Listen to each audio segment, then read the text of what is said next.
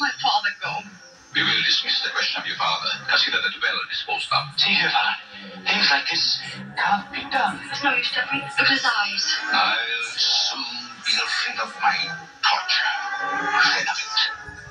Yes, he'll be rid of the torture of a bad septic system with rid of it. Oh, and that's Rid-X. It's for septic tanks. Septic, you're welcome. See, you said tanks.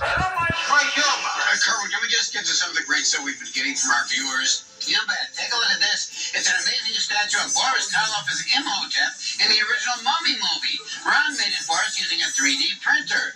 We are so impressed with this. It's so accurate, and we want to thank Ron for this terrific artwork.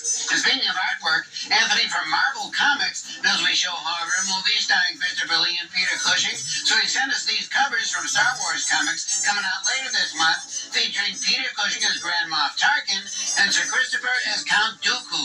Those two characters don't show up a lot in the comic book, so it's pretty special. Oh, yeah. Here's something else special.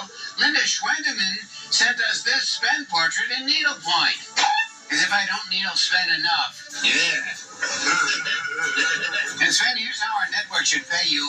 Michaela Stormer of West Salem, Ohio has created this creepy currency with our pictures on them.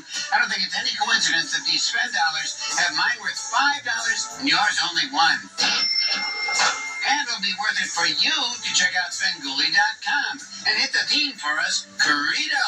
Thank you for all those cards and letters. Brandon say it's time for Swana Svengoolie audition.